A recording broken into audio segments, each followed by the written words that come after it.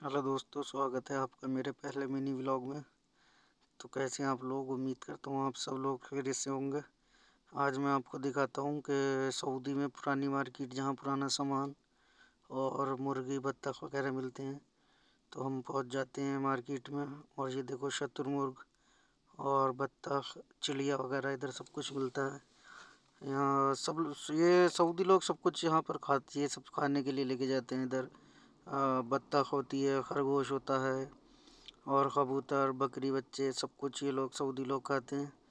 तो हम पहुँच जाते हैं, उसके बाद देखते हैं सब कुछ मिलता है।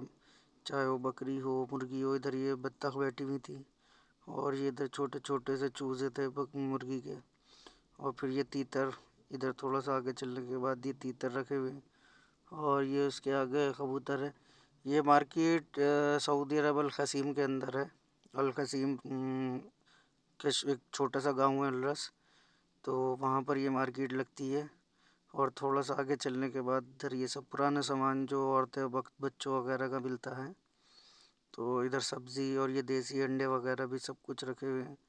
ये सब पुराना यूज़ हुआ हुआ सामान होता है, जो ये यहाँ पर पुराने ज़माने के जो सऊदी होते हैं, औरतें वो सब बेचती हैं।